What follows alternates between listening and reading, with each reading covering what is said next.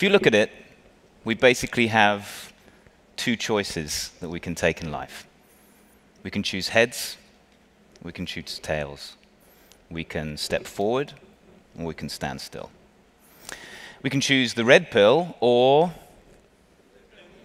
we can choose Hillary, or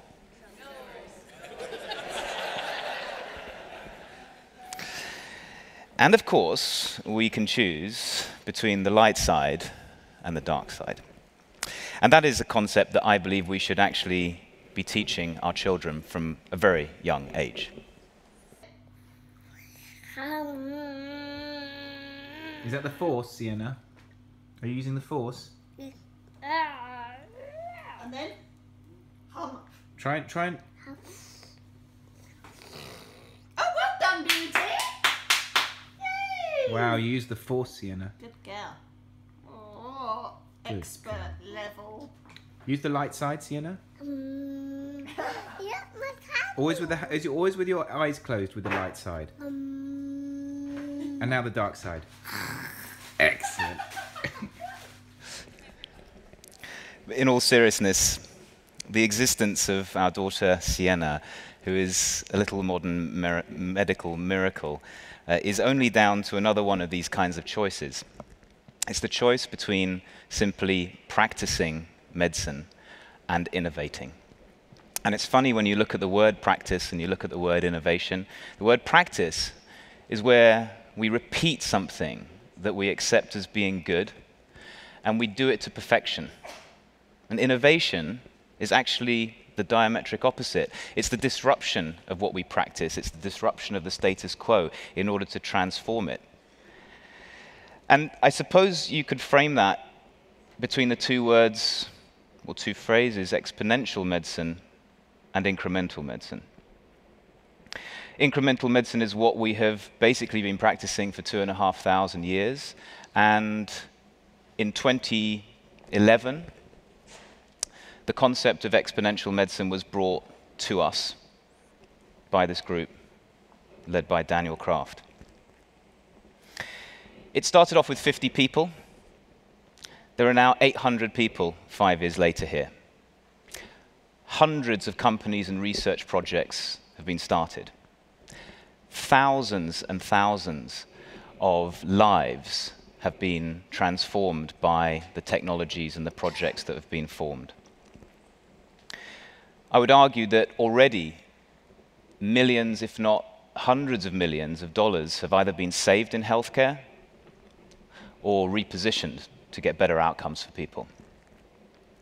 In my own journey, I left exponential medicine in 2012 and went away thinking, just as we get taught, you can change a billion lives over the next 10 years, and was very lucky to start a few very interesting ventures, one of which was one of the first Singularity University Labs companies, and many more.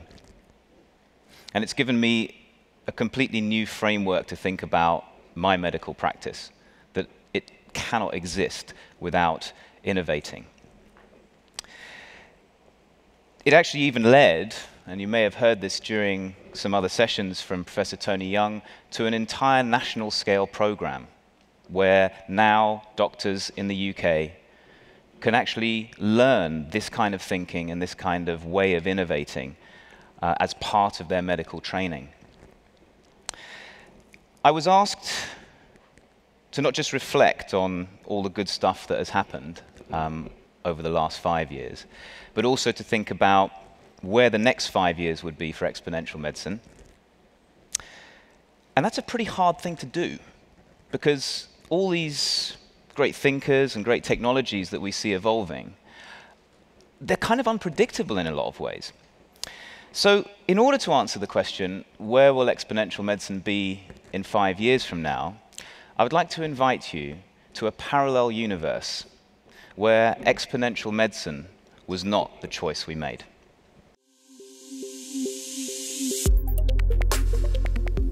Incremental medicine is everything to me.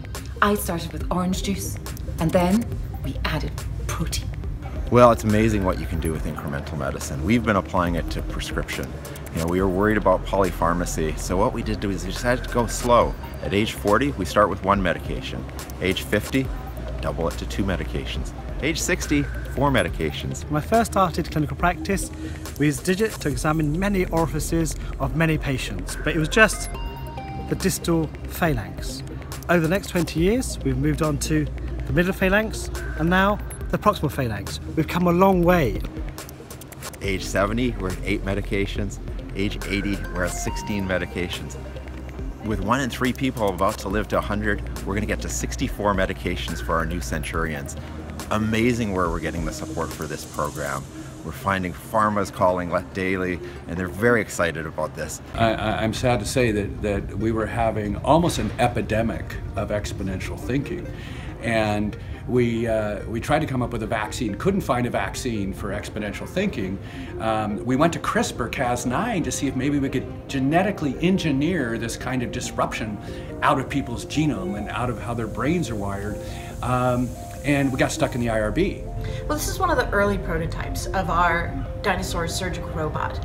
We wanted it to be able to communicate its emotions so that if it was necessary for it to express a temper tantrum or to start throwing instruments or any of the other things that we felt were critical about the way surgeons interact with their surgical staff. Um, so we decided the only way that we could really get our arms around this problem is to build a wall and not just any wall but a really, really huge wall. Well, I've been hearing a lot about this thing called artificial intelligence and how that's going to play a big role, but I don't know how to spell that. We gave it legs for locomotion so that it could come into the operating room under its own power, and the mouth is full of dexterous manipulation so that it can move and make all of the motions that we would expect the human hand to make to be able to manipulate surgical instruments. I mean, I'm working on snail juice. Okay. Because it has this extra sort of progress element. Ah, yeah. It's shiny, so it can make your hair shiny. Is, is influenced at all by our logo? Or? I know, I mean, that's my copyright. What we're also seeing is a convergence, a convergence of new problems, multiple problems, multiple diagnoses. It's amazing what you can do with incremental medicine. Off the record, um, you know, the biggest problems we have in healthcare is, is of course, the patient. They don't, they don't, they're not compliant. They want their data. They, they, they want the data that, that we use to take care of them, and they want it mm. themselves. Yeah, and, and, and it's extraordinary. Mm. Who would have thought? Who would have thought? I know. Yeah, yeah. unimaginable. Vinod Khosla, what is the secret to your investment success? The key to success is only investing in things that'll make a 1% difference over the next decade. Professor Larry Smarr, how has incremental medicine affected the advancement of medical science, in your opinion, over the last five years? Well, it's been so fantastic because, you know, I've been collecting my stool and storing it away for probably 10 years now. And oh my God, it's just so great. You know, we're getting all this variation in color and consistency and so forth. But then I realized like a, a gram has a billion bacteria and each of those have 5 million DNA bases. I said, I'm in the wrong business. This is a storage medium. And so we're just going to disrupt the whole hard disk uh, industry by just storing everything in the, in the, in the stool. And the thing is, we can crowdsource it. You can all be part of this. Just send your stool to me.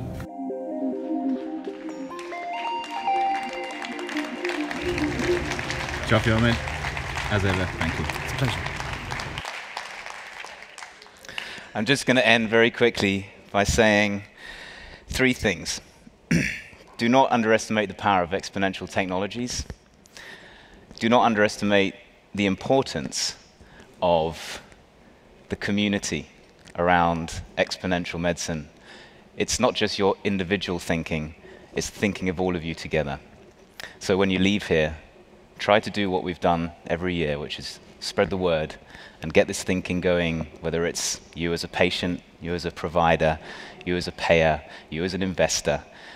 It's an extremely important thing that, that Daniel and the crew have started here. So please don't underestimate the importance of yourselves. And I think finally, never underestimate the power of the dark side. Thank you very much.